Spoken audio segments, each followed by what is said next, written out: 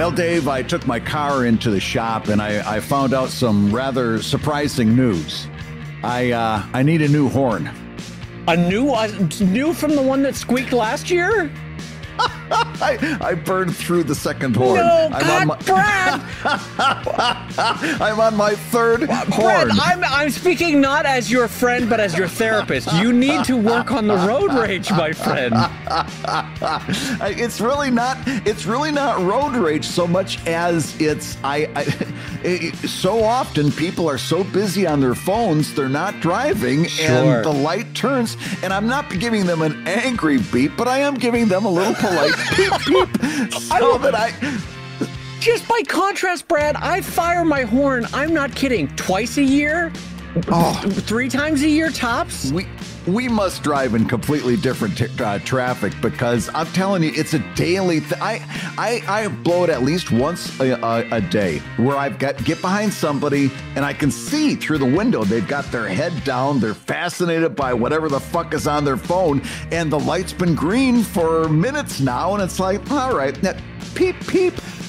Time for you to move. Time for you to move on. It's always very polite. I always wave with a little smile, peep peep, and and on we go.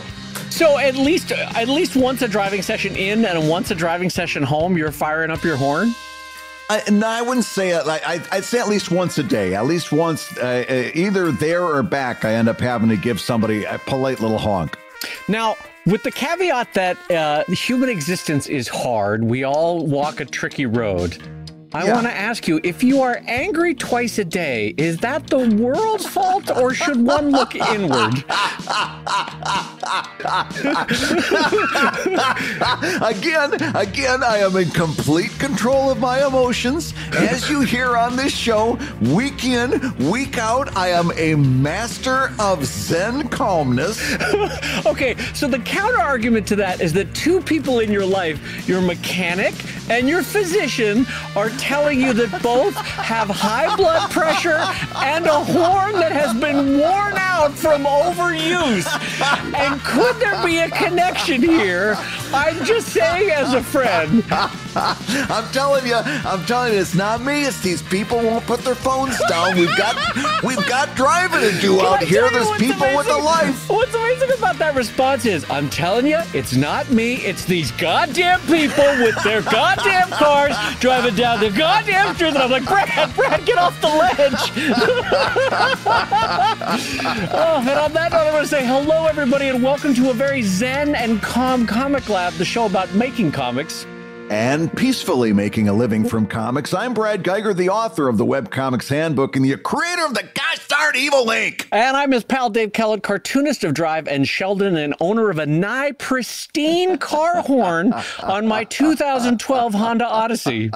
And this week's Hour of Comics Advice is made possible by your support at patreon.com slash comic lab. And a reminder to everyone that you could be watching us stream live each week as we record the show for our Comic Lab Live Gab friends. And there's a concurrent chat running alongside the stream where we answer your questions before, during, and after the show. And if you happen to miss the live stream for Life Lover Learning, it is archived each week, so you can watch the stream later at your convenience.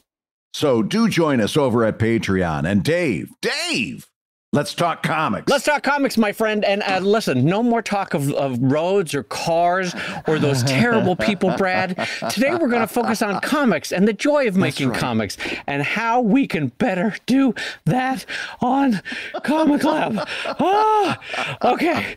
So, Brad, a lot to talk about today. A lot of lot of big topics. What is our first topic this week, my friend? Well, this one comes in from our Patreon backer, Garth, who says, Hey, Brad and Dave, the churn is real and to be expected just as part of the way Patreon works. But guys, do you have any tips on coping with seeing that number drop 10 to 20%, maybe sometimes more at the beginning of the month, even knowing that it'll- climb back up? Do you, do you just not look at it? Is that monthly kickoff yikes feeling something you need to stay hungry? How do you balance your hunger with your mental well being? if you know, I'd love to hear it. Thanks in advance from Garth. Uh, Davey's talking about what I often call the Patreon dip. It's that churn at yes. the end of the month. A lot of people uh, either they, they jump out before they're going to get uh, charged again for the next month, or they jump out when they realize they just got uh, uh, charged uh, and and and your Patreon numbers don't uh, take a take a big uh, dip. Uh, Garth is saying that sometimes it's ten to twenty percent. How do you survive that beginning of the month yips? Well, uh, Garth, I got to tell you, in terms of being mental well being, I want to tell you that the entire time that Brad was reading that question, he had a car steering wheel on his desk and was just laying on the horn the whole time. Right. Uh, he's, he's it's, it's almost a Pavlovian response now with Brad. He just immediately goes for the horn. uh, as he's reading this question. No, this is a super valid question. And Garth, you're not alone. That I, uh, I have uh, since switched to Patreon's new billing model, where if someone joins on the 15th, their next cancellation or their potential drop off point would be the 15th. And for a different yeah. person, they would join on the 17th, their drop off point would be on the 17th. Um, and I have I my long term thought with that is that I would like to actually remove this dip so that at any given point in the month I'm losing one or two people, and at any given point in the month I'm gaining two or three people. That's the hope. Yeah. Uh, because I I never liked this dip, and I never quite honestly liked the billing model where everyone was charged on the first, no matter what day of the month you joined on. Because if you joined on the first it was great. And brad had a whole workaround about how to like hey i'll pay i'll email you when it's the first again. Um, but if someone joined on the 25th they would basically get shortchanged in that prorated month. It, because it wasn't prorated. It was it was you paid the full the full whatever it was for yeah. the month even if you were joining on the 25th anyway so i have now gone to the new system and i think it's going to take time. It's going to take a couple years for this patreon dip for me to uh, to sort of even itself out. But I would advise if anyone is starting a Patreon or hasn't yet started a Patreon, by all means, go to this new method of building where uh, people are billed the day they join, which honestly makes more sense. It's what readers come to expect. It's what users have come to expect with magazines, with anything else. That it's it's your drop off point is the day you joined.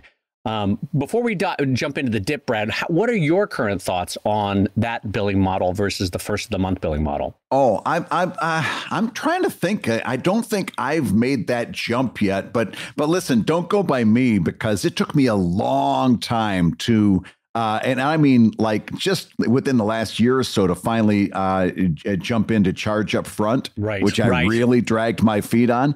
So I don't think I've done that quite yet. Uh, uh, and and and again, I'll probably I'll probably come around eventually. uh, but I can tell you this, Garth, and, and that is number one, you're not alone. In fact, I just I I I know this isn't completely accurate number, but I I just looked up Garth on uh, uh, on Graphtreon just to see what kind of dip we're looking at and it looks pretty familiar. I can I can see the same dip going on on uh, on what I'm doing over here. It's it's very, very familiar numbers.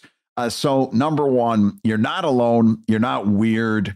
Uh, let's talk about some ways uh, that we can that we can even out the bumps a little bit. Okay. First okay. of all, I will tell you, just from me, uh, like I never even I can't even bring myself to look at my payout until like the third of the month. Like I can't look at it on the first day and see that they're only 37% through all of the charges and you're, everything. You're kidding, really? You it can't gives even me oh, it gives me such anxiety because oh. I'm I'm I can't I can't even look. I can't even look. I, I wait until the third and then I look because I know at that point they will have charged 100% and I'll see what my number is and I'll live and die by that number. And usually it's it's for the last few months it's been pretty pretty steady. It's been, it's been a little a couple hundred low here, a couple hundred high there. It's been fairly steady but it, it just it I, I, I just I, I'm telling you, Garth, you're not alone. No. it, it gives me very much anxiety uh, during the first of the month. So let's talk about some ways that you can. Uh, here here's here's one way that I've used to try to even out that bump a little bit, and that's this. I really like the idea of a special offer. And we've talked about how to do a special offer on the show before. It's basically where you say, hey, everybody that's a Patreon backer by the last day of the month gets this special reward. And it's a digital reward that you send out. Okay. Uh, and I love doing it. I, I, and and as a matter of fact, I've done it so much that I don't even really use Patreon's special offer uh, uh, uh, software and and markup for it anymore. I just I just make it a thing where I say, hey, everybody that is uh, a, a, Patreon backer by the last day of the month is going to get this, and it's usually an e-comic, maybe a collection. Uh, I've done like a collection of Halloween comics, a collection of Christmas comics, a collection of uh, you know D and D themed stuff, and then it's also like a, the latest chapter. If I've got the latest chapter of Evil Inc. done. I'll whip that into a uh, e-comic, and that'll be the special giveaway. The thing about it is, what you're trying to do is get people to stay another month, right? Because right. if they stay until the last day of the month, then they're going to get charged, and then they go on. So you want to keep people staying. And what I've been, and I've actually had some very good luck with this just by doing an unofficial special offer where I offer them something, a collection of something. And, and of course, the more you go, the more you create, the more of a body of work that you're going to be able to choose from. Mm-hmm. And then you collect that into a little e comic, a little PDF, and poof, you send it out there and you're ready to go. I, I, I, I always am very, very careful about my wording. Okay. In fact, I would even say go over to my Patreon because I make these public posts uh, when I announce a new one. Uh, look at the wording because the wording's very careful, uh, carefully done because you want to make sure that you're getting across that you have to be a member on the last day. And by the way, this is also going out to all of your existing patrons as well. So it's the people who are signing up new and the people who've been there all along. It's going to all of your Patreon backers on the last day. And then, of course, uh, um, in the first or the second of the month, you go through, you uh, go to Patron Manager, get all of your active patrons that are at the appropriate tiers, and send them their link uh, to where you've got this as a downloadable. Whether you're doing it on Dropbox, I use DriveThruComics all the st- all the time for stuff like that. Uh, give them their link, send it. I, again, you're going to want to send it to them in a direct message. You don't want to make this a post because technically you don't want people picking this up um, the next month or the month after that. This is just for those people that signed up or remained with you. You send that to them in a message, and then they've got their download code and they can bring it in. So that's one way that I've done to, and I, and again, I've had a lot of luck with it to even out that monthly bump because I'm telling you, I'm right there with you. it drives me nuts when I see that number go down at the beginning of the month. Well, I'm gonna I'm gonna play point counterpoint here with Brad's idea, which is uh, uh, while validating that that is a lovely idea. Yeah. I'm going to posit that that doesn't change a darn thing about how many people Brad was going to lose that month. And I'll tell you why. Go ahead. I'm not a mathematician, but on any given month, an average person holding a credit card has a 1 in 36 chance that that credit card is going to expire that month. Most credit cards yes. renew on a three year basis, right? Um, and so you take 500, 1,000 Patreon backers, just do the math of each one has a 1 in 36 chance of, of dropping out, and then how quickly the average person can get to it and you'll see, mm-hmm. like some people right away, they're right back in it. As soon as they get the notification, they're right back in. Uh, but there's always stragglers for whom it takes three days, four days, five days. Sometimes it's a credit card problem, wasn't necessarily an expiration. It might have been a cancellation due to, uh, you know, a false charge or something. And so they had to do a rigmarole. It takes them a couple days to get things back on track. I think my own sense, my own spidey sense is if you're doing everything right all through the month, nothing you do at the last week is going to make a difference because I honestly feel like mathematically most of those people are just credit card expirations or credit card cancellations because of fraud and they had to go through the rigmarole that that requires. And so there's a 1 in 36 chance 1 in 48 if they're on a four-year renewal not a lot of people are. Uh, and so that's my take on it. And then so I have a, a like like Brad I have the identical artistic response which is oh no no one likes me. People are running away. But then the logical side of my brain kicks in and I go no this is most likely just credit card expiration dates and they had yeah. to put it in a new card. It's going to take a couple days. Look again in a week, and bada bing, bada boom. It's almost always fine. Five days in, seven days in. Um, yeah. And so, based on that track record, and I don't know how many years I've been on Patreon five, six, seven, I don't know. Um, uh, if you look at the, the, the recovery a week later, that's what tells me that this is cards expiring, not people that no longer like my work. You know, right. mathematically. Yeah. So I think it's perfectly lovely that Brad has built up this expectation of this stuff coming in the final week, and I, and who knows it that it might be the the nail in the coffin of keeping them around. I, I, I applaud Brad for it. I personally feel like mathematically this is just a one in thirty six chance of people's three year credit card expiring. And it just happened to hit that month. And so 5, 10, 15, 20 people are dropping out that that first week, you know? Yeah. Well, I, I, am going to redirect in two different ways just to make sure that I'm communicating clearly. Uh, number one, this is not something that just gets done in the last week of the month. No, I in know, I words, know, I know. Yeah, this is something I launch on the fir- at the first of the month, and I'm promoting all the way through. And that's where I'm going to come around with number two, and that is, I think that although I, you and I might disagree with the with the with the breadth of what you're talking about, I think you, you're you're right. We both agree you're right to an extent. A certain number of those are expired cards. What I uh, I would like to suggest is that that work that I'm doing throughout the month is bringing enough new people in that they're offsetting those people yes, who are leaving absolutely. because of the expired yes. uh, cars. Yeah, and and this is the point where I say even though I've just said that anything Brad does in the final weeks or the days around that changeover don't have an impact, nobody puts out more content consistently across the month than Brad Guigar. I'm not in any way uh, implying that. Like you, you yeah. consistently provide value for your patrons way more than I do, and I think I do a lot. But, but you have like there's something all the time going up on Brad's Patreon. So um, it is continuous. It is through the month. I'm just saying for for anyone who might have because sometimes Brad people hear us and they hear the wrong thing. And I, yeah. uh, for oh, anyone yeah. who thought like, well, I just do something around the end of the month and that keeps people on, you know, and it's like, no, that that's not what does it. What does it is continuous value throughout the month and yeah. an awareness that the majority of those people are just credit cards expiring or a credit card hiccup or a credit card problem, whatever you want to describe it as. And that, um, that most of whom self repair within five days. And we both have seen that, you know, uh, people get it right back up within, within four or five days of, of, uh, of the cancellation going on. And so now that being said, let's talk about the people for whom they've genuinely walked away, which is a different proposition, right? Right. Um, you have had them for a month, you've had them for a year, you've had them for multiple years. Uh, mm-hmm. There's nothing that can be done when their financial situation changes, right? Oh, yeah. I think both Brad and I would admit, and especially as maybe we're looking at a recession, especially mm-hmm. in those situations, there's not much that can be done. But for people for whom they they say something like, this Patreon didn't supply what I expected, or this patron, uh, the, the materials behind the veil of Patreon were not what I was hoping for, something along those lines. Brad, any uh-huh. particular advice for those kind of people and how we might handle that?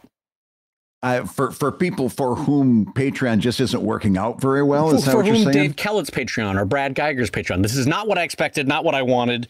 Oh, no, there's nothing you can do about that. I mean, listen, you're going to do what you're going to do. They're either going to like it or they're not. And if they don't, that there's nothing there's nothing you can do about that. You know, and because if you try to, you you end up trying to please everybody, and you end up putting out some really lackluster stuff if you do that. Oh, right? I see. So there's not a lot. There's not. And and by the way, I don't know if you ever look at your uh, uh, exit uh, interviews, but what I see almost all the way down the page is my financial situation changed over and over and over again. You know, yeah. the, the, and and sometimes God God love them. Sometimes they write these really nice notes oh, apologizing yeah. for. Uh, I've been laid off and this and that. Yeah. Like, don't you don't have to and apologize like, to me? Yeah. hey, I was I was happy I had you for a month. I was happy because listen, I remember the days of advertising where, let's face it, one reader would generate a nickel in terms of uh, advertising revenue or a dollar over the case of months and and and years.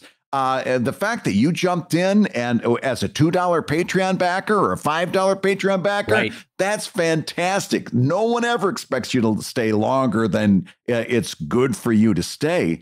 Uh, but you know, I, I, but but yeah, there's if you're doing what you're doing and and and they're leaving because it isn't a good fit for them, well, there's there's nothing you can do about that. Yeah, I largely, I in fact, I I almost wholeheartedly agree with that. The only caveat I would say is Brad had an idea once, and I have actually yet to do it, but I I would love to hear you talk about it, where yeah. um, you said every once in a while, like say a year or 18 months or 24 months, uh, you'll reach out in sort of a mass communication to everyone that's dropped off in the last year or two and say, hey, we've added something new to the Patreon and here's what it is.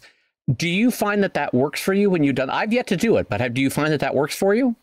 I try to do it very, very seldom because some people do react a little bit negatively to it. Yeah, right? like, I, I, could see ah, myself being like, "Look, I, I, did what I did, and I'm out now." Yeah, yeah, yeah. yeah. yeah. So I'll I'll do that for a Kickstarter, and oh. I'll do it uh, every once in a blue moon, I'll do it for one of these monthly special offers where I say, especially if it's a big one. I did one at the end of the year and it had like six different ebooks that collected a whole bunch of stuff. Right. And I'll send out to, to my followers on Patreon. And, and we'll take a little sidebar there in a minute. But I uh, to my Patreon followers, I'll say, listen, I, I, I promise I'm not going to reach out to you often, but this is such a big reward. I know that you've uh, you know enjoyed my stuff in the past. I wanted to let you know about it. If it's not a good fit, that that's fine. But here's what we're doing. Blah blah blah. You know, I just and and then every now and again, again, very seldom, but I can't tell you that it's never happened. They're like, I really didn't want to get this email, and I'm like, okay, I get it. It's yeah. not going to happen on a frequent basis. And I appreciate your letting me know. But what you do is, I, am just going to take a real quick sidebar here. Followers on Patreon are yeah, people yeah, who probably never uh, uh, they, they're they're they're not currently pledging to you and maybe they never did but they just signed up to get public notifications of when you post okay and you can find them again, go to your Patreon patron manager and filter by the results, and you'll see followers as one of those uh, uh, uh, categories that you're able to filter.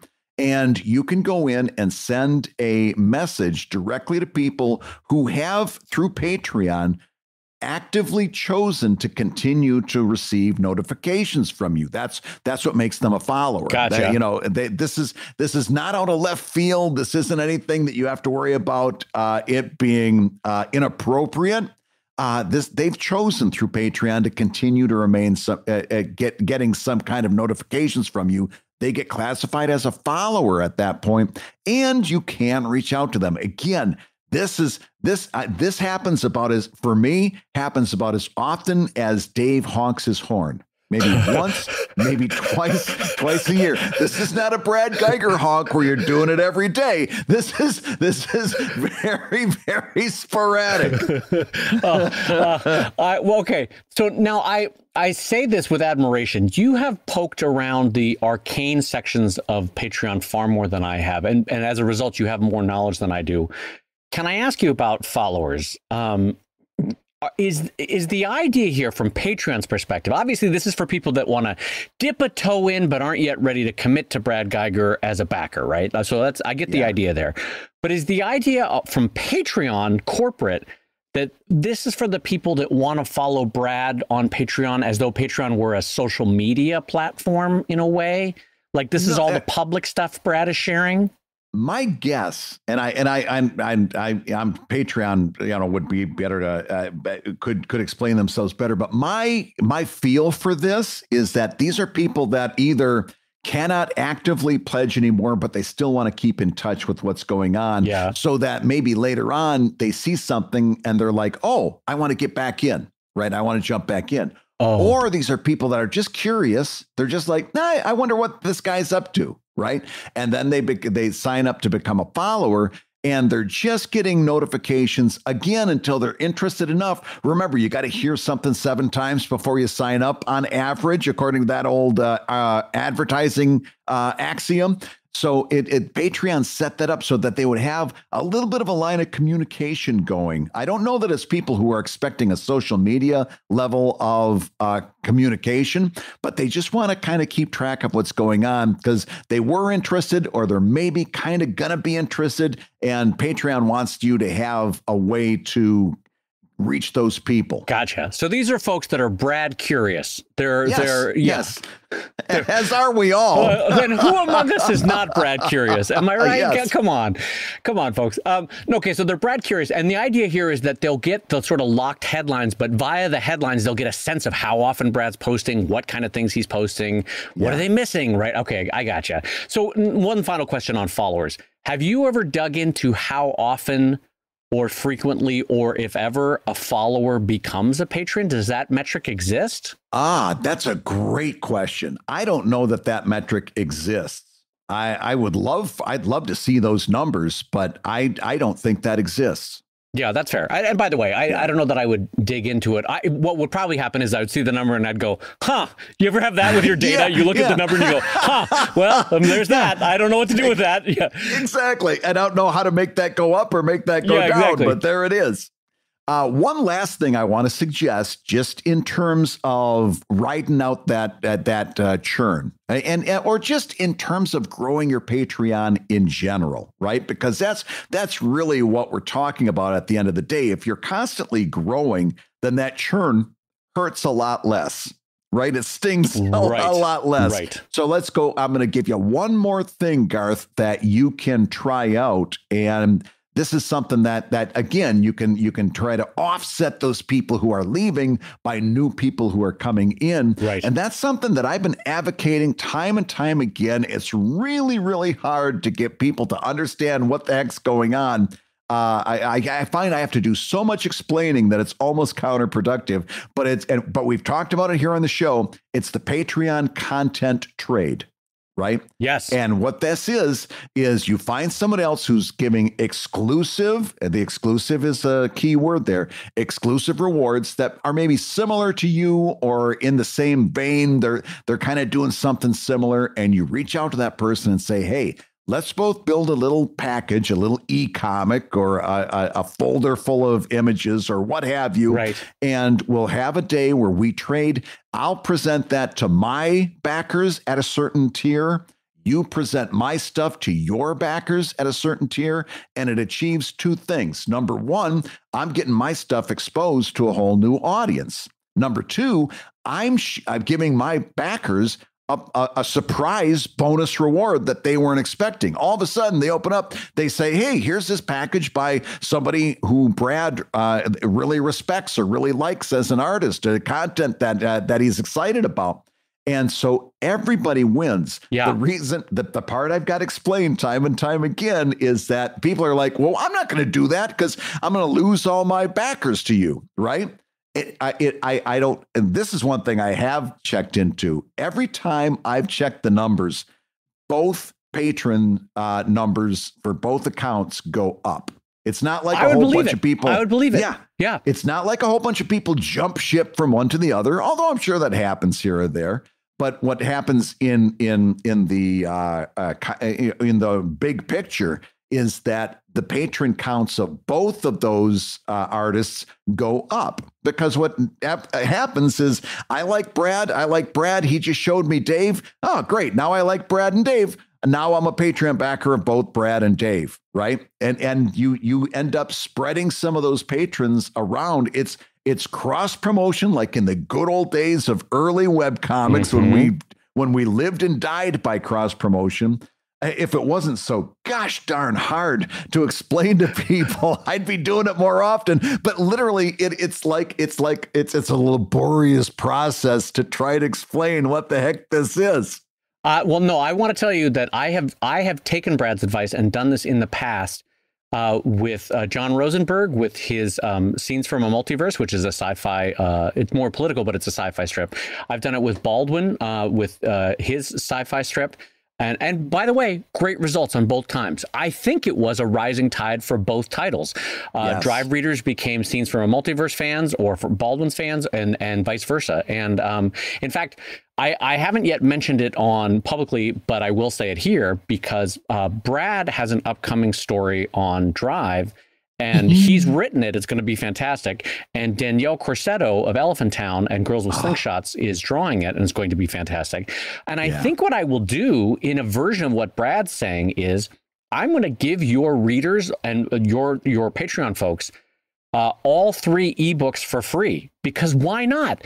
It's it's Yeah. it's a forty five dollar ebook value, but why not give it to paying Patreon folks for whom they're going to see one of their favorite artists now doing this story? Let's let him Yeah. dive in as easy as possible because I bet there's only going to be good results for all three of us when I do that.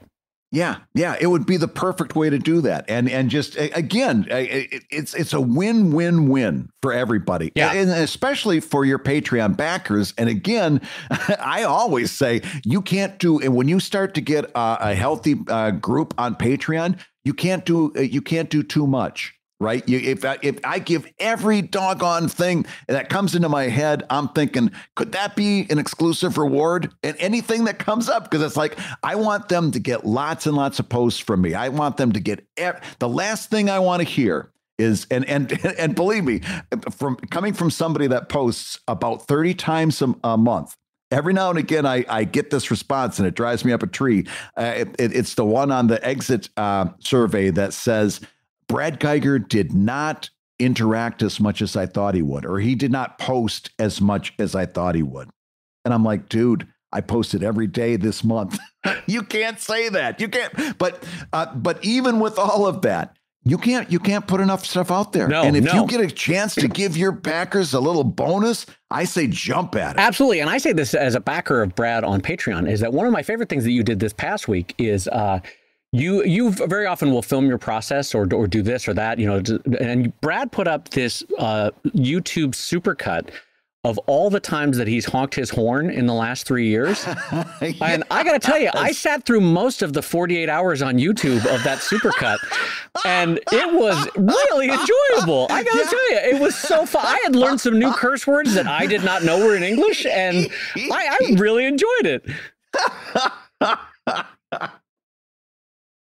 Hey, if you're listening while you work, take a minute to stand and stretch. And while you're doing that, we're going to tell you why you should join us on Patreon. When you do, you're going to get hours and hours of podcasts that we've recorded just for backers. And exclusive Patreon posts that go even deeper on Comic Lab topics. And access to our exclusive Discord server, which is a thriving community of professional cartoonists. So you can support the show you love and get tons of actionable resources for your own cartooning. And listen, if you can't swing a pledge this month, we get it.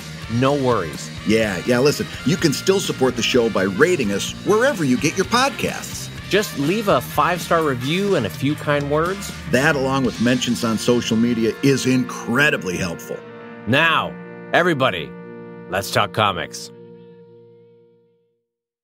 Dave, you know why I got this big smile on my face over here? It's because once again, we get to share with people that this show is being brought to them by DreamHost. We've been talking time and time again about owning and controlling your own work. A big part of that is having a website you can put your stuff on so that no matter what happens out there with Yes. Twitter or Instagram or Webtoons or Tapas or Mastodon, well, that ain't going to be Mastodon, but one way or the other, you can have a place where you can always fall back to and control your stuff. That's a website. And DreamHost, I'm telling you, is going to make it so easy for you to do. I've been using DreamHost for over 10 years. And if you go to dreamhost.com slash comic lab, you can see two special uh, starter packs that they've got uh, set up for you that if you're thinking about doing this for yourself, you can start to dip your toe in the water and start moving along those directions. Yes. The first one is the shared starter plan that starts at $2.59 a month. The other one is the shared unlimited plan that's $3.95 a month.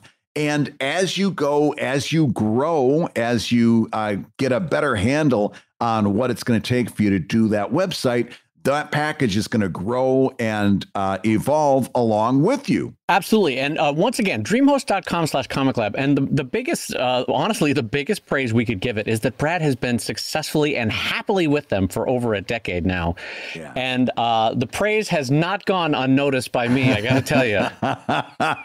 well, I'm, I'm I'm telling you, you're going to be my own personal uh, project to get you over to DreamHost because I, I I'm going to listen. I'm just going to I'm not going to go into numbers because we were talking off the air. Oh. But we share. I, I shared what I was paying for DreamHost and what Dave is paying for his service right now. That I, if, if I remember right, was kind of pitched to you as a free service, but No, then well, it was not kind of free. like no, no, not not free. But I just No, want oh. to say uh, the the company that I use. I'm not going Yeah. to uh, uh, besmirch them by saying their name, but it rhymes with Schmlamazon, and is where I'm hosted.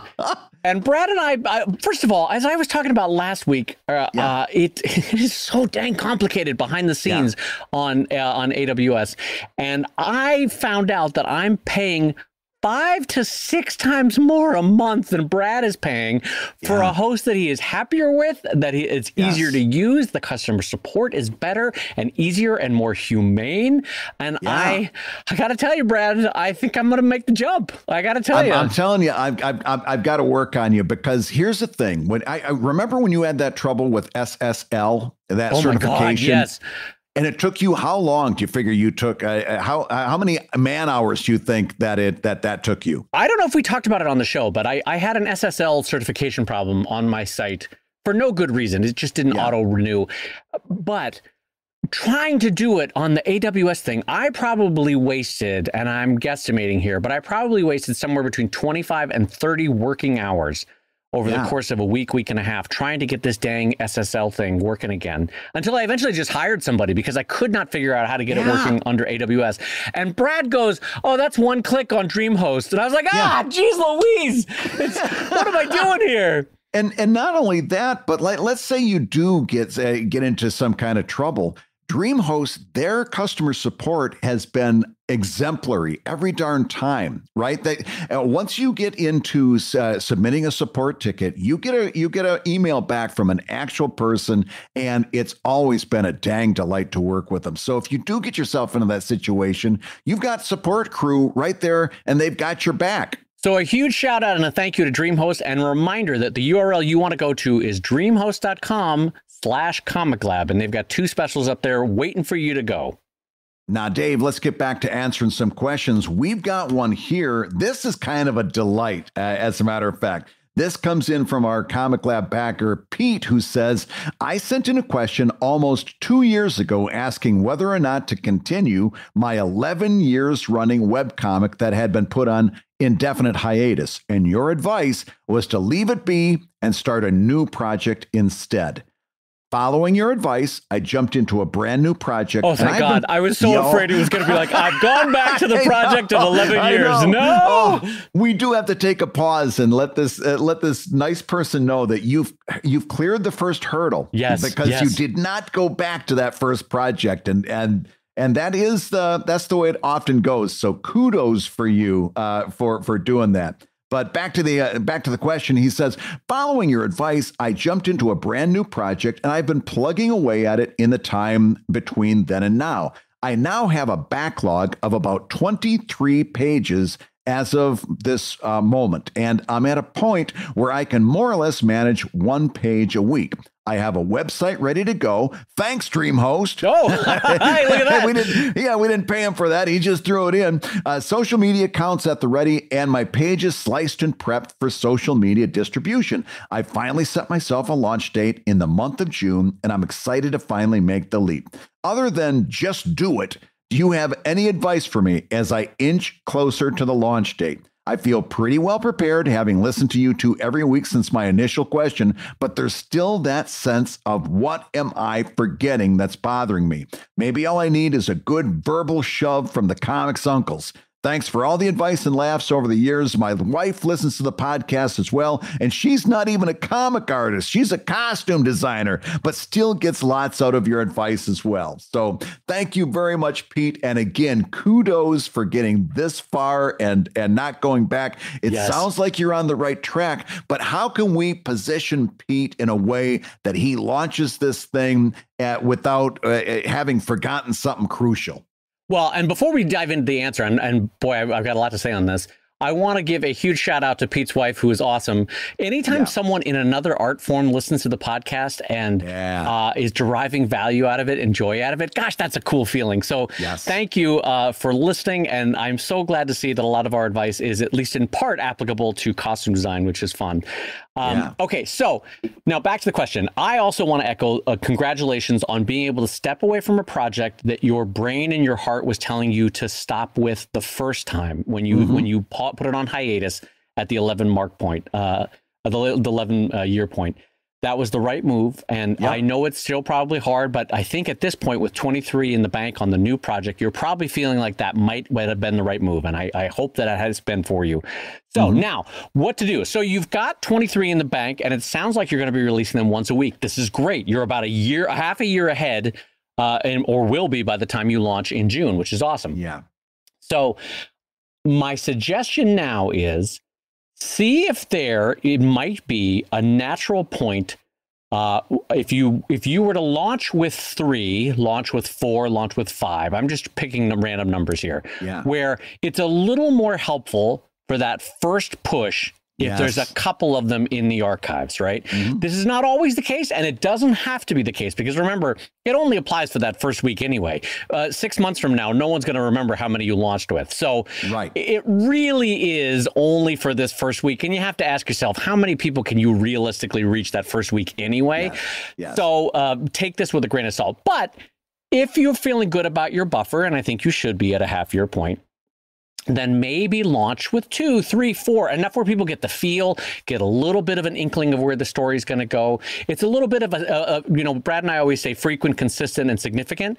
Mm-hmm. See if you can make the first launch significant within two Yeah. or three pages in a way that maybe one wasn't. Any any first thoughts on that, Brad? Oh, I love that idea. I think that's perfectly fine. And again, if you can't do it, that's fine because Yeah. what Dave said is exactly right. In six months, who cares? But uh, that first time, if you had a, a, an opening where you can, even if you had to, uh, like, if I don't know whether you were able to do it, but if you were able to set an emotional hook in that Yes. first three or four pages, right? Uh, that's a really good uh, opening. So I would I would definitely suggest that. And the other thing that I would say, suggest is you said social media. That's very important and that's fantastic.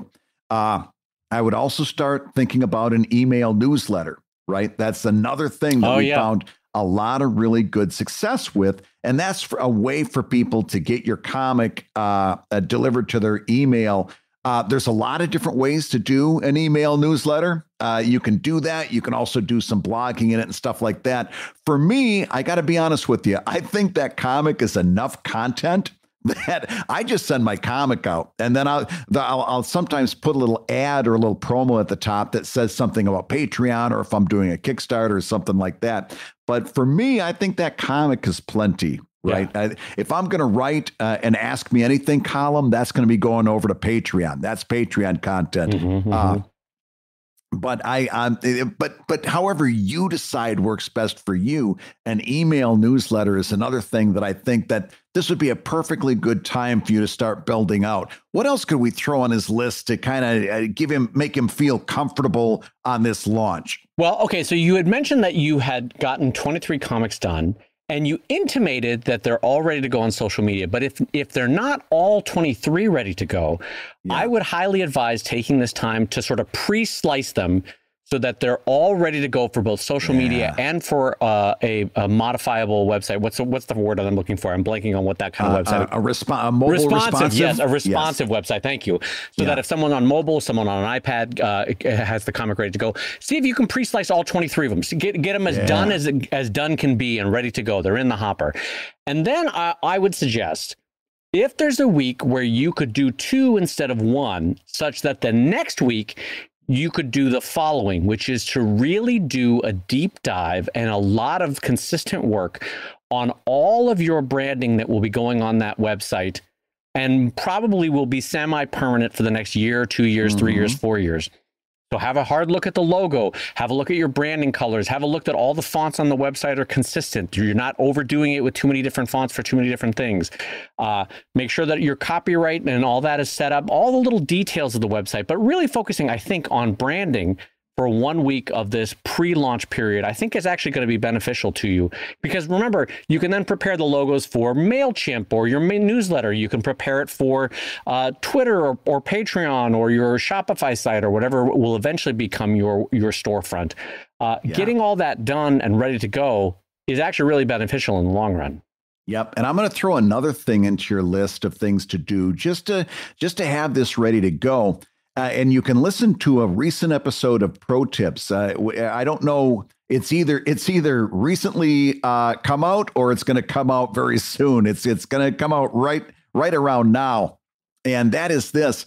Uh, one of a number of different ways for you to create an introduction to your comic, whether that's if whether you do that like a movie trailer or whether you do that with a, like a, a traditional webcomics website about page, or whether it's a, a, a small little e-comic or, or something that you do as a digital download.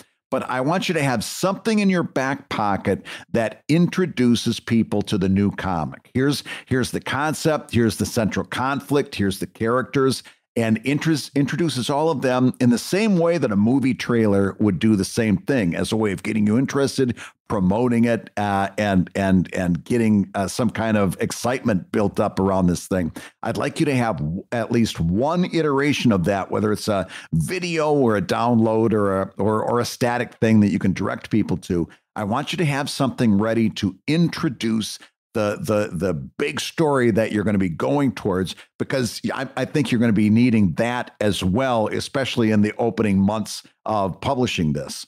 Yeah, and I'm going to tell you one other thing that you can do pre-launch that is far easier to fix now than it is after you launch, which is take a, a, a day, a half day, more than 10 minutes, and really Google the living heck out of your title, uh, yeah. in different mediums, in different genres, mm-hmm. in different locations, because it is so much harder to find out six months in, six years in, that there is another comic out of Australia or New Zealand yeah. or the Czech Republic that has your exact yeah. title, and you just didn't stumble upon it. It didn't come across your radar. We can we can be operating even on the same internet in very different worlds sometimes regionally, mm-hmm. and you don't want to find out years from now that you're treading on the same exact title that someone else is, or even similar. You know, so try yeah. uh, plurals versus singulars in your title if it's if it's uh, um, you know, the the app if the name of the if the title of the comic is something like the apple cart tips you're going to want to mm-hmm. search apple cart as one word apple cart as two words yes. apple cart plural apple cart singular uh, tips as tipping tips as tips tips as tip uh, you're going to want to yeah. do all the sort of google tricks that you can do with boolean searches uh, mm-hmm. to make sure that no version of your title exists in comics or graphic novels or in any comic adjacent industry that could trip you up six years from now uh, and will really bum you out once you've built up an audience for it. yes. So uh, these are all good things to do, and I and, and I think that's a. Pre- I'm I'm I'm I'm kind of scraping the bottom of the barrel now. I don't know that there's a whole lot more that I would throw at you, but here's the thing: uh, there's always going to be something. Yeah. There's always gonna be something, and that that that uh, two months from now, you're gonna look back and you're gonna wish you would have done. I wish I would have done this. I wish I wish they would have said something about that. I wish that this other thing was on yeah. my radar at the time. Here's the thing. Again, go back to that thing we always say about it being a marathon, not a sprint. At the end of the day, it really doesn't matter. We want you to be as well prepared as you can be, but if there's something that that uh, uh, that that fell through the cracks or just wasn't uh, uh, doable at this moment or wasn't even on your mind, it's okay. Yeah. This whole thing isn't about the launch. It isn't about what happens on day one. It's about that cumulative effect of doing it over and yes. over and over again. Yes. That slow growth, that organic growth, that that really is where the good stuff is business wise. Uh, that's what I want you to focus on. I, I, uh, we gave you good stuff. Uh, we're, we're right there behind you because we know how it is, uh, how exciting it is, and how nerve wracking it is to launch something new. And and so we're going to give you some stuff to think about.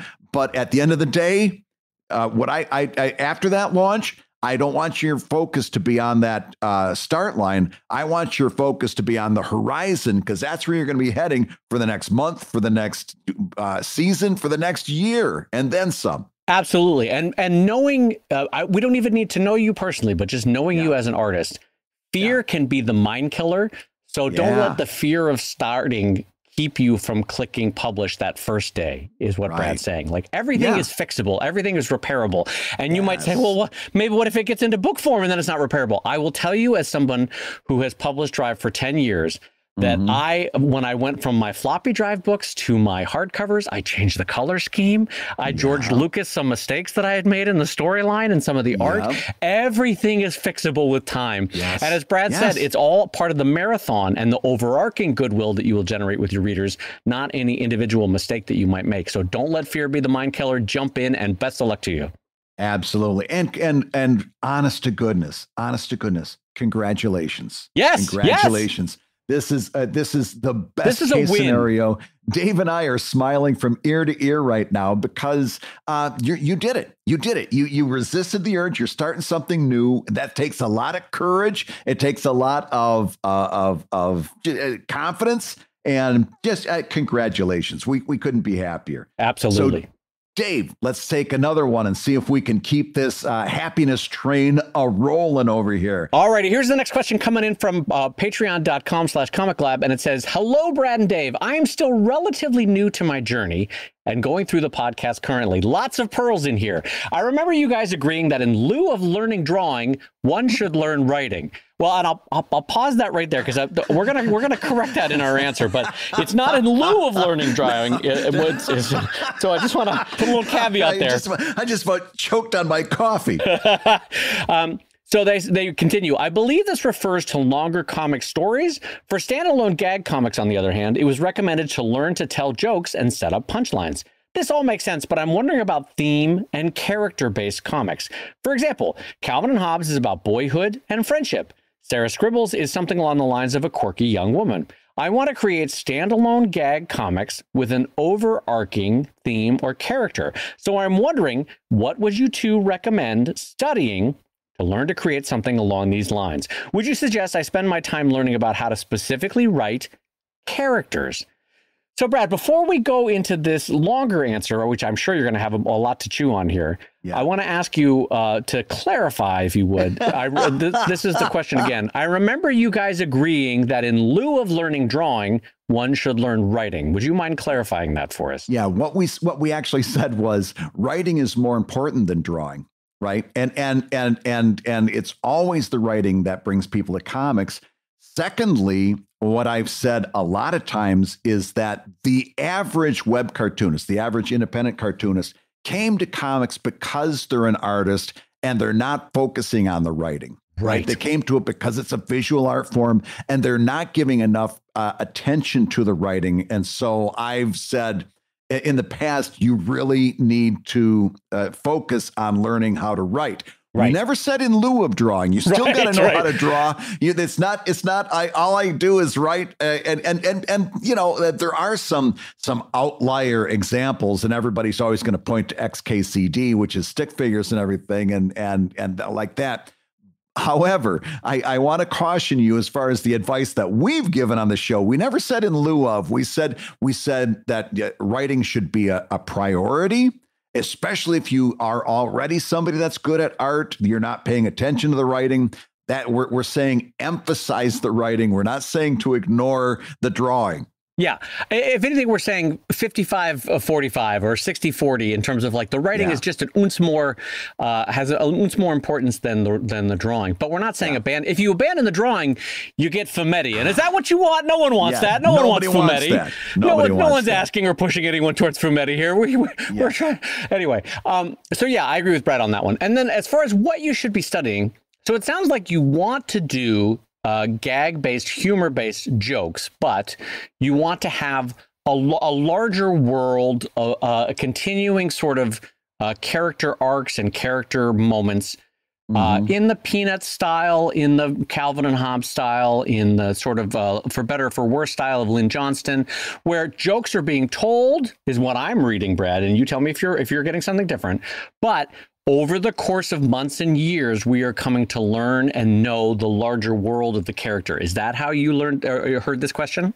Oh, I heard it too, and it's and it's interesting because I, I what what's the one thing in common of the three examples that you used? They were all comic strips. They, They were all what kind of comic strips? uh, um, North American newspaper comic- comic strips. They were all newspaper comic strips. Oh, newspaper comic strips. Yes, yes, yes, yes. And I, I want to caution you, first of all, is is that what you're talking about there was is very much a newspaper comic strip idea. This whole idea of of of everybody knows that Linus sucks his thumb and so on and so forth. Right. I want to I want to we have to have a little bit of talk about this because by and large for a uh, a short form humor comic that is not the that that's these days more the exception than the rule. These days, especially with social media, the comics that are successful very much are more about the joke, not so much about yes. I know that that that that, that Beetle Bailey is always lazy right? Right. So I'm not saying it can't be done. I'm not saying that you shouldn't do it, but I want to caution you a little bit is that it, it, this is a newspaper comic concept that may that you may have a challenge translating to the internet. Yes, and I would actually like to continue that vein of thought because Brad is right uh, what you're describing was a very specific type of comics that were created for newspapers. And I yes. did this with Sheldon, and Brad yep. did this with the early versions of Greystone Inn. They were created for a newspaper tradition where the audience consistently was checking in every day because they got their newspaper and with their morning coffee, they read the comics, right? And yeah. we know that that's not the case online, that sometimes for reasons of algorithm or just because reasons of life, people will miss four or five Sheldons and then check yeah. back in again, right? Yes. Um, and so here's what happens you do see people using a newspaper format, like the very, very talented Sarah Anderson with Sarah mm-hmm. Scribbles, mm-hmm. which I love. I think is amazing. Yep. But let me ask you this, Brad. Name the second character on Sarah Scribbles. exactly. There is none.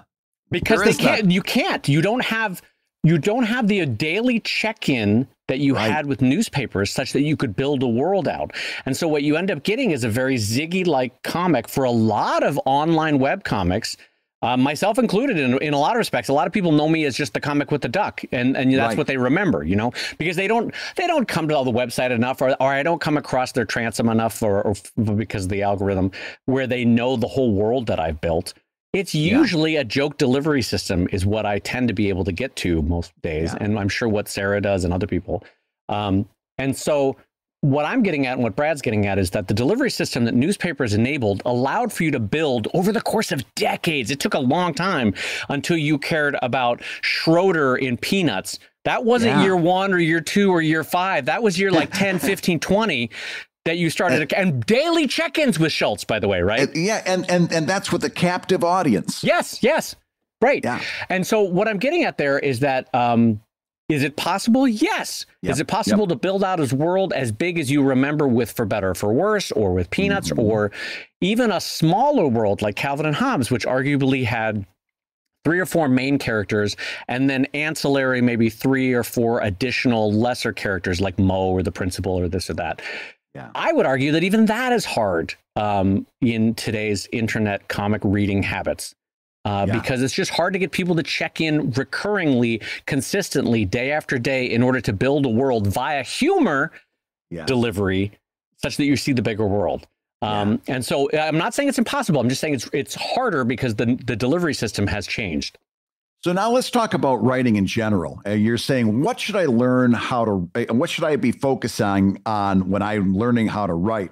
And the answer is, it's it's all part of writing. In other words, you're saying, well, uh, I, I, over here I've got long form and narrative, and over here I've got short form and punchlines, and over here I've got characters, and over here I've got themes. Which one should I be focusing on? And right. what I'm going to tell you is it's all a part of learning how to write. And right. and and even like eh, certainly if you want to focus on short form humor then yes you're going to be really uh, drilling down deep on what it means to set up a punchline and deliver that punchline.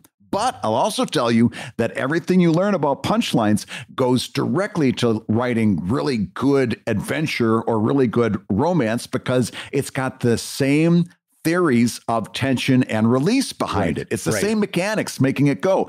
And you can't you can't just learn how to write characters because characters are a are a part of a much bigger picture. You can focus on character, but but to say that oh I, I just want you to learn how to write characters, that's a nonsense statement. It doesn't mean anything. You don't just you don't just do this in a bubble. You you've got to learn how that character acts in the big picture of your writing. So, what we suggest, and I think you and I probably are going to agree on this, Dave, if I can be so bold, is that you don't, it's like saying, I want to cook, but I only want to use celery. Well, that's not cooking. That's a part of cooking, but it's not cooking. Right? right. So, what we want you to do is anything that you do that that is in the uh, pursuit of learning to be a better writing, learning how writing works, is going to make you a better writing. And of course, the more you want to focus after that in in a broader sense, like I could see again, if you want to concentrate on humor, yes, that's that's valid. But there are there's there are character dimensions to humor. There are theme dimensions to humor. Yeah. Right? It's you you can't separate this stuff out. Is what I'm I guess I'm trying to say. You should be looking at this more as a big picture as as writing uh, than you are just looking to get to a granular level on this stuff. Yeah, and one of the reasons why like a liberal arts education always starts off with broad generalizations of and and introductions to broad spectrums of of whatever the topic is is because uh, to to go back to Brad's helpful visual of uh, learning to be a chef okay let's say you want to be a pastry chef and you're like i don't i don't care about i don't need to know about proteins i don't need to know how to cook meat or chicken or fish i don't i just want to do pastry right. yes but by knowing how salt and fat and acid and heat and yeah. sweeteners and umami and how all of that works mm-hmm. you will be a better pastry chef and so you have to start with the broad stuff first yeah. and then start to fo- focus and and and you know laser in on on certain things so um, I would advise, based on what you've described, um, that broad reading across comics, everybody from from uh, Watterson to Chris Claremont to Lynn Johnston to Cathy Guisewite to to blankets to you know last summer my I'm trying to remember the title but the last summer book that had popped into my head. Anyway what I'm getting at is reading broadly across comics and enjoying pop culture and literature broadly as well, yeah, but I reading deeply. Yep. Hopefully, yep. you've been doing this consistently and and thoroughly uh, in your adult life. Is that you're taking in a lot, you're reading a lot, um, and because what that will do for you is that it will start to see where patterns exist in storytelling and where people mm-hmm. successfully break patterns and how that works for you. And again, like Brad said, how tension is built up in both drama and in comedy, and how yeah. tension is popped, and how those characters navigate their arc with that tension building up and with eventually being popped. And then as you get into it, um, find the things that you really resonate. Find the writers that you personally think did it right, and then yeah. start to break down, physically break down, write down a sheet of like how did they do this? What what yep. steps did they take? How did they navigate this character arc or this reduction of tension, in, or how they popped the tension? All that kind of stuff, as you break it down in detail, can be very helpful um, as yes. you go into it. Yeah, so it's not just reading comics, it's about reading in general, reading yeah. books, reading everything you can get your hands on and reading stuff that really lights your fire and also also read some really terrible stuff. read some yeah. horrible stuff. And I really mean that uh, sincerely because when you uh, uh, read something that just hasn't been done very well, and there's a lot of it out there, there's a lot of it out there. Uh, when you read something that hasn't been done well, it it it it's it it, it hits your brain, and you're like, oh, why did they do that? And then you can deconstruct that and say, I'm never going to make that mistake because that really stinks. Yeah. Reading terrible stuff is as important as reading good stuff. It's like touching a hot stove. You literally learn, like, oh, I don't want to do that. That thing, I don't, yes. I don't know what that yes. was, but I don't want to do that. I, I want to, yeah. I want to construct my characters different. I want to construct my storylines differently. So yes, reading bad stuff, not all the time, but like read a couple good things, bang, bang, bang, really classics yep. of comics that are of literature, and then jump in on some weird ash can that you got at an independent press conference and yeah. and oh uh, uh, you know comics conference and oh boy you'll see where it falls apart you'll be like oh the pacing was wrong the character development yep. was wrong the settings were were poorly constructed and and you'll you'll see it because you're starting to distinguish quality from poor writing yeah, yeah. So that's that's our uh, advice to you is that, that that when we're talking about learning writing, we're talking about uh, a, in a broad sense. All right, if you can take a class that you can uh, focus on writing, uh, I'm not that worried about you know, what kind of class it is, although the closer it can be to to to what you're uh, creatively interested in is great. But anything that you do to learn writing is right. going to help you. But again, because chances are, if you're like most of us, and by the way, this includes me, this includes Dave, right? We all, uh, many, many of us, I'd say 80% of us, if I had to guess, uh, came to comics because we were artists first. And the writing, had, we, we came along kicking and screaming, right? right. Uh, so anything that you do at this stage of the game that teaches you good writing is time well spent. And honestly, um, uh, screenplays and drama yes. are wonderful for showing you how you can paint purely with words. No mm-hmm. scene descriptions, no nothing where yeah. it's literally just what the characters are saying that's painting the scene for you. And eventually, a dramaturg or or a director will will uh, a set designer will bring that to life in a way that will reinforce what the play is trying to show you. Right. But if a playwright can do it just with words, that is great for learning. So mm-hmm. I would say if you can take a drama class, if you in terms of writing, if you could take a screenplay class, what I'm getting at there is a lot of community colleges or local high schools or or colleges or or regional classes won't offer comic specific writing.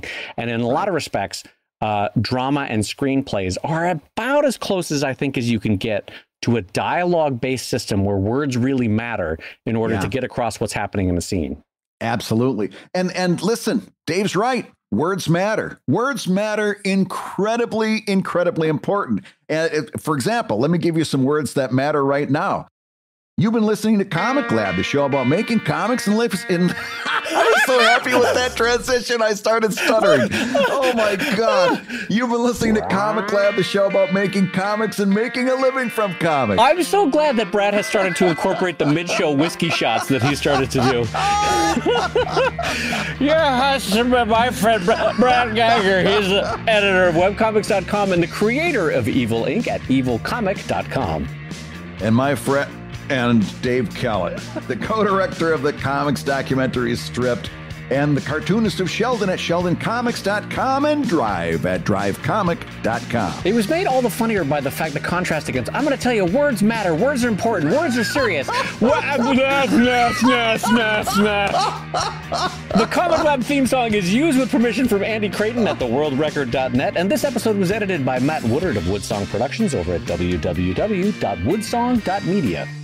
If you love ComicLab, you can rate and review the show on Apple Podcasts, and you may hear your review featured on a future episode. And don't forget to give us a five star review on Spotify, where we are burning up the podcast charts. Yes, and ComicLab is made possible by your support on Patreon.com. So we'll go ahead and say that twice Patreon.com slash ComicLab. And one more time as Brad Guigar drives the merry streets of Philadelphia. Get out of the way, you son of a beep, beep.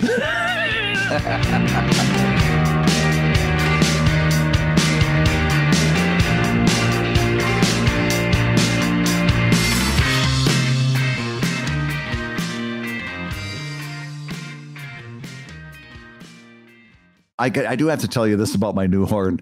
I have evolved. I've it's gotten a little bit better every time. The my biggest problem with the Mazda horn was that it was very polite.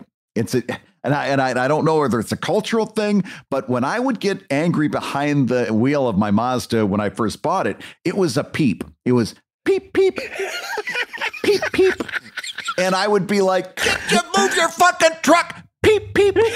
It was much too polite. So that when I burned that one out and I got my second one, it sounded like the Roadrunner, which was a little bit more aggressive, but still very friendly. It was more of a me me and I'd be like, "Hey, hey, get off your phone, meep meep." And I, that's still this one. It's got two notes in it, and it's and it's a much more throaty, full honk honk. I've finally gotten up from from from beep beep to meep meep to honk honk, and I got to tell you, if this one burns out, I don't know what I'm going to do.